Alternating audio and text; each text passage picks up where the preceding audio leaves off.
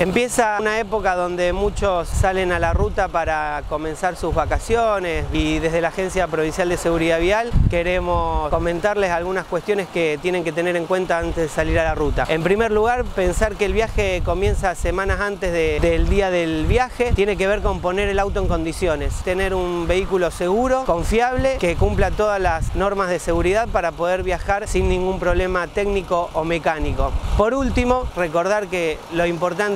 es llegar, no llegar antes, para tener un viaje seguro, para tener un viaje responsable y para poder disfrutar con la familia todo lo que implica el viaje, que respetemos las velocidades máximas. Respetar la velocidad máxima amoldada también a las circunstancias del viaje. Si el viaje lo vamos a hacer con lluvia o de noche, saber que si la velocidad máxima tiene que ser reducida para sentirnos más seguros, debemos amoldar la velocidad máxima a las circunstancias del viaje. No adelantarnos cuando hay doble línea amarilla, respetar las doble línea amarilla es una causa de siniestro muy importante, descansar previo al viaje, obviamente no ingerir bebida alcohólica, con esas recomendaciones, manteniendo la distancia de frenado con el vehículo que va adelante, eh, por si tenemos que hacer alguna maniobra o frenar y que esto no traiga eh, aparejado un choque o un problema. Esas son las cuestiones que el conductor tiene que tener en cuenta ya cuando emprende el viaje.